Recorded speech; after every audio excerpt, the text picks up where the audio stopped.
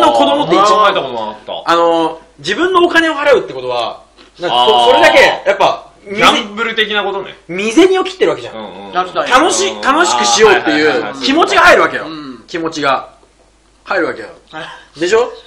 なんでてめえ俺のチンポ触ったんだクソホモ野郎だよ。てめえ女だけじゃなくて男でもいけるやつしかよ、お前 よ。ホモみてえなサングラスしてやがってマジでチンポコ触ってたの？マジでチンポコだった。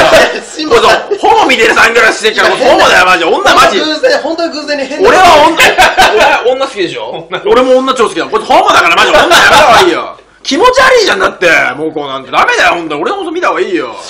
ほんとホモだもん、今。なんかなんかもうね？え、何で触ったの？チンポ触ってきたんだよ、こうやって。違う、なんか今、王者の手の下にここんな感じで手がいっちゃったんですよ。うんそしたらなんか、なんか、ななんか、そそういうの別に触ってない触ってないむ、むかれた、俺のチンポ。こうやってお前らに隠れてるところで、これ、むかれたんだけど。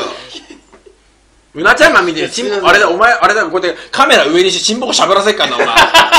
ウキョチンみてえによ、ほんとに。カカのチンポコしゃぶった。マジほんとやるからね、今日は。